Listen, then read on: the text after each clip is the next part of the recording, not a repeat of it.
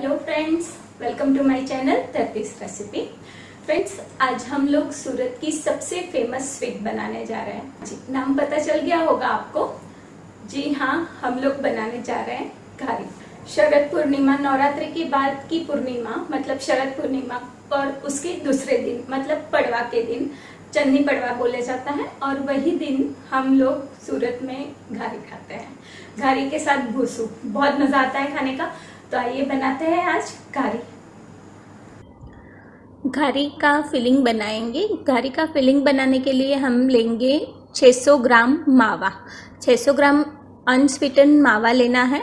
उसके साथ लेना है 300 ग्राम शुगर का भूरा शुगर का भूरा और लेना है हमें इलायची का पाउडर इलायची को मैंने शुगर के साथ क्रश कर लिया है। थोड़े बहुत ड्राई फ्रूट्स उसमें लिया है बादाम और पिस्ता, जिसे मैंने दरदरा कूट लिया है। अराउंड वन कप जितना बादाम और पिस्ता है। उसके साथ लेना है हमें तीन चम्मच बेसन और दो चम्मच रवा, जिसे एक साथ हम रोस्ट करेंगे। और घारी का कवर बनाने के लिए हम लेंगे मैदा। मैदा लेना है हमें 250 ग्राम और उसके ऊपर कोट करने के लिए लेना है घी। घी लेंगे 300 ग्राम और देसी घी लेना है हमें। सबसे पहले हम पैन को गरम रखेंगे और उसके अंदर दो चम्मच घी ऐड करेंगे।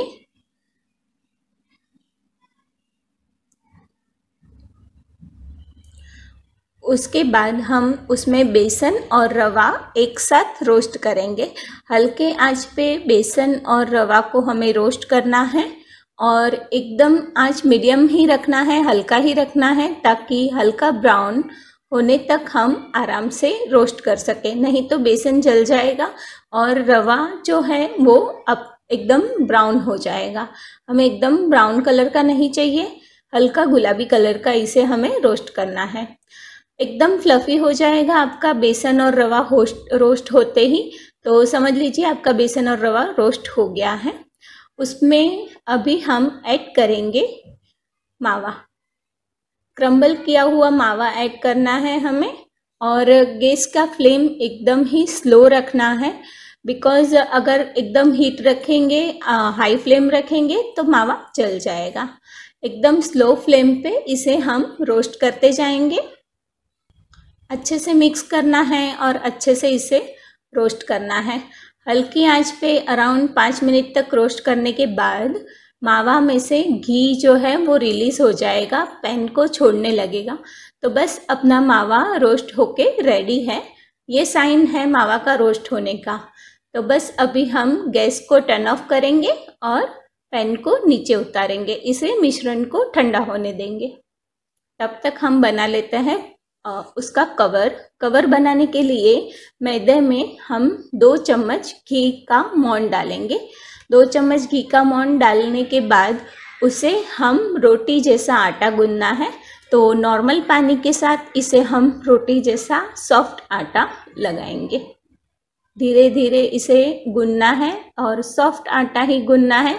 नॉर्मल पानी के साथ ही हम इस, ये आटा गूंदेंगे फ्रेंड्स घारी का जो पड़ है मतलब उसका जो आ, वो पड़ है उसे हम एकदम ही पतला रखेंगे एकदम ही ट्रांसपेरेंट रखेंगे बिकॉज़ जब भी हम मावा और ये जो पड़ है उसके बीच में मतलब घी और मावा के बीच में पड़ एकदम ही ट्रांसपेरेंट रहना चाहिए तो दिखाई नहीं देना चाहिए।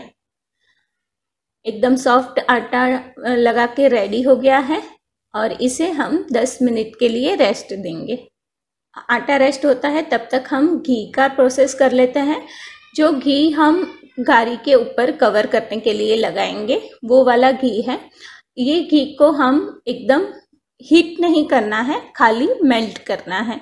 स्लो आँच पे एक, दो मिनट के लिए रखेंगे और गैस पे रखने के बाद ट्रांसपेरेंट मतलब जैसे ही लिक्विड होता है बस ऐसे ही हम नीचे उतार लेंगे घी को। गैस को टर्न ऑफ़ करेंगे और घी को नीचे उतार लेंगे और उसे हल्का सा ठंडा होने देंगे। हल्का सा ठंडा होने के बाद घी के नीचे हम रखेंगे आइस क्यूब और उसे हल्के हाथों से फेंटते रहेंगे। ये फेंटने का प्रोसेस इसलिए है क्योंकि हल्का हल्का घी ठंडा होगा और ठंडा होते होते उसमें थोड़े एयर बबल्स भरेंगे।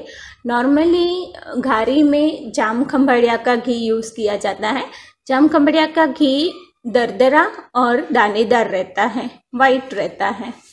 तो हम नॉर्मल घी यूज़ करते हैं बिकॉज़ हर जगह जाम खम्भड़िया घी अवेलेबल नहीं रहता है। इसीलिए हम नॉर्मल घी यूज़ करते हैं। हल्का सा ठंडा होने के बाद जैसे ही थोड़ा थिक होने लगे तो उसके अंदर हम अपने हाथों से वो घी को फेंटेंगे क्योंकि हमारे हाथों की गर्मी और आइस की ठंडक मिल के ही वो एकदम फ्लफी होगा और उसके अंदर अच्छे से एयर भरेगा। आप देख सकते हैं, एकदम लाइट और वाइट कलर का हो गया है घी। और एकदम फ्लफी भी हो गया है। तो बस ये घी हमारा रेडी है ऊपर कवर करने के लिए। हमारा मावा का मिश्रण भी ठंडा हो गया है। बस उसके अंदर हम अभी ऐड करेंगे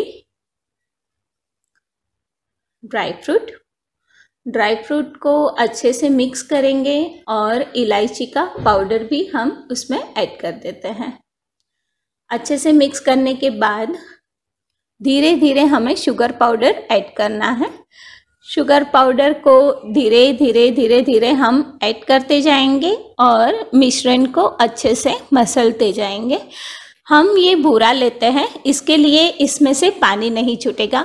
अगर नॉर्मल शुगर का पाउडर लिया तो फ्रेंड्स शुगर का पानी होगा। इसके लिए हमारा जो मिश्रण है, वो एकदम पानी वाला हो जाएगा मतलब लिक्विड ही हो जाएगा। तो ध्यान रखिए आप भूरा ही लीजिए। और अगर ऐसा लगता है आपको कोई भी स्टेज पे कि आपका मिश्रण ठंड लिक्विड ही हो रहा है तो आप उसे ठंडा कर दीजिए और फिर उसमें से गोले बनाइए। गोले बनाने के बाद हम, हमारा जो आटा है, उसे हम अच्छे से चिकना करेंगे और उसमें से छोटी छोटी पुरिया बनाएँगे गारी का कवर बनाने के लिए। छोटा सा लोई लेके उससे हम एकदम पतली पूरी बेलेंगे। हमें एकदम पतली पूरी बेलना है और उसमें हम मतलब सूखा आटा नहीं लेंगे। हम ऐसे ही घी या तेल लगा के नीचे चकले पे ऐसे ही हम बेलेंगे। हमें सूखा आटा इसमें यूज़ नहीं करना है। हो सके उतनी पतली पूरी बेलिए एकदम ट्रांसपेरेंट हो जाए, वहाँ तक ध्यान रखिए। और उसके बाद हम, आप देख सकते हैं कितना पतला पूरी हमने बनाया है। ऐसा ही पतला पूरी बनाना है ताकि घारी में, बीच में पड़ है ऐसा फील ना हो। उसके अंदर हम एक लुआ रखेंगे। घारी का फिलिंग जो हमने बनाया था वो। और उसे अच्छे से कचौरी की तरह से कवर कर लेंगे। एकदम अच्छे से कवर करने के बाद उसे हमें सेल करना है और एक्सेस आटा जो है वो हमें निकाल लेना है।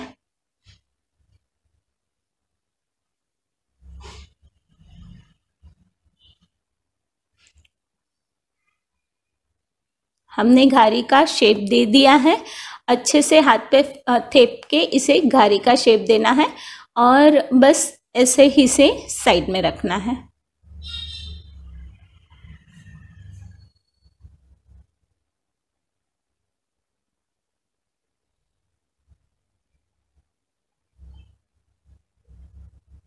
ऐसे ही सारी घारी हम प्रिपेयर करेंगे और गरम किए हुए घी में फ्राई करेंगे। अच्छे से कवर करेंगे। दे, देखना है कि कहीं से भी टूटे नहीं। गरम किया हुआ घी है उसमें हम अभी घारी को फ्राई करेंगे। लेकिन फ्रेंड्स एकदम स्लो आँच पे घारी को फ्राई करना है। और आप एक चम्मच में रख के ही उसे फ्राई कीजिए। अंदर डालने के समय चम्मच से ही डालिए। अगर ऐसे ही आपने घी में छोड़ दिया घारी तो वो टूट सकता है। और एकदम हल्का फ्राई करना है, बहुत ज़्यादा फ्राई नहीं करना है। अगर बहुत ज़्यादा फ्राई कर लिया तो उसका कलर चेंज हो सकता है। अच्छे से ऊपर घी डालिए और फिर उसे फ्राई कीजिए।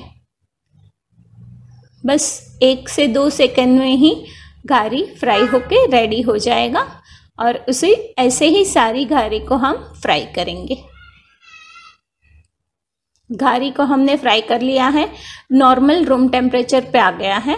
उसके बाद हम उसमें घी कवर करेंगे। घी कवर करने का प्रोसेस है, उसके अंदर घी में डुबाएँगे। घी में डुबाएँगे तो फ्रेंड्स एकदम अच्छे से घारी घी को कवर कर लेगी और फिर उसे हम एक प्लेट में जमाते रहेंगे। लेकिन फ्रेंड्स अगर आपका घारी थोड़ा भी गर्म रहेगा तो ऊपर का घी मेल्ट होके वापस प्लेट में आ जाएगा। आप देख सकते हैं, मेरा घारी थोड़ा सा गर्म था ताकि मेरा घर ऊपर घी जो है, वो प्लेट में आ गया है और एक्सेस घी मैंने प्लेट में से निकाल लिया है। तो इसे हम फ्रिज में रखेंगे, ठंडा करेंगे और वापस घी को कवर करेंगे। फ्रेंड्स घारी ठंडा हो गया है। अभी उसके ऊपर हम घी चम्मच से लगाएँगे ताकि ठंडी घारी के ऊपर घी जो है, वो एकदम ही चिल्ड हो जाएगा। पकड़ लेगा घारी घी को और ऐसे ही हमें सारी घारी प्रिपेयर करनी है। ये मिश्रण जो हमने मावा का बनाया था, उसमें से अराउंड 25 घारी आप आराम से बना सकते हो और ये चन्नी पड़वा एंजॉय कर सकते हो। अब देख सकते हैं घारी चिल्ड थी, इसकी वजह से घी ने एकदम पकड़ लिया है घारी को। तो फ्रेंड्स रेडी है हमारी घारी चन्नी पड़वा सेलिब्रेट करने के लिए। घारी और भूसू। बहुत ही मज़ा आएगा खाने का। देखते रहिए मेरा चैनल धरतीस रेसिपी लाइक कीजिए शेयर कीजिए सब्सक्राइब कीजिए। सब्सक्राइब करने के बाद बेल आइकन ज़रूर क्लिक कीजिए ताकि ऐसी ही मेरी नई नई वैरायटी आप तक पहुँचती रहे।